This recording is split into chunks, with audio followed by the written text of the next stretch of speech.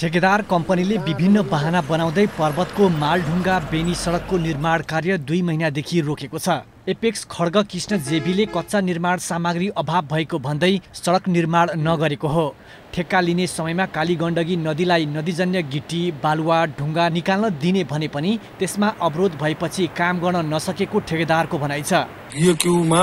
स्थानीय स्रोत परिचालनै अन्तर्गत कालीगण्डकीलाई नै चाहिँ नदीजन्य पदार्थहरूको चाहिँ स्रोतको रूपमा हेरिएको हुनाले उक्त स्रोत उपलब्ध नभएमा हामीहरूले काम गर्न सक्ने अवस्था चाहिँ नरहेको कुरा म जानकारी गर्न चाहन्छु। नदीको ढुङ्गा निकाल्न नपाएपछि व्यवसायीले जलजला साथ केराबारी स्थित सडकलाई आवश्यक पर्ने भन्दा धेरै ढुङ्गा उत्खनन गरेका थिए।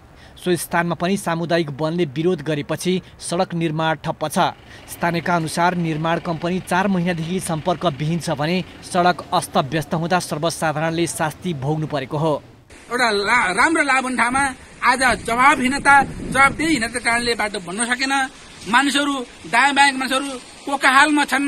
मृत्युको चाहिँ एउटा छटपटीको अवस्थामा रहिरहेका छन्। राष्ट्रिय गौरवका आयोजना मात्र होइन नीतिगत समस्याका कारण गाउँपालिकाका धेरै आयोजना अल्पत्र परेको जलजला गाउँपालिकाले जनाएको छ। आन्तरिक समस्या पनि देखिन्छ। चाहिँ यहाँको चाहिँ काम गर्न आएको ठेकेदारले चाहिँ मोबिलाइजेसन बुझेको पैसा पुरै नपाएको हुनाले चाहिँ मैले काम गर्न सकिनँ भनेर भन्नुहुन्छ। अब मेन ठेकेदार चाहिँ यहाँ आउनुभएको छैन। त्यसले गर्दाखेरि पनि यो पेटी पेटीमा चाहिँ काम विभाजन गर्ने कुराले पनि यो कामलाई चाहिँ रफ्तार नदिएको चाहिँ बुझिन्छ। मुख्य निर्माण कम्पनी निर्माण स्थलमा नआउने र पेटी ठेकेदारलाई जिम्मा लगाएर कमिसन खाने गर्दा पनि विकास निर्माणका काम रोकिएका छन्। एपेक्सले तेह्र किलोमिटर सडक कालोपत्रे गढ बाहन्न करोड छयासी लाख रुपैयाँमा दुई हजार सतहत्तर चैतमा ठेक्का सम्झौता गरेको थियो। तर अदालतले दुई हजार अठहत्तर असारमा नदीबाट नदीजन्य सामग्री निकाल्न रोक लगाएपछि सडक निर्माण अन्यलमा परेको छ। महेन्द्र जीसी पर्वत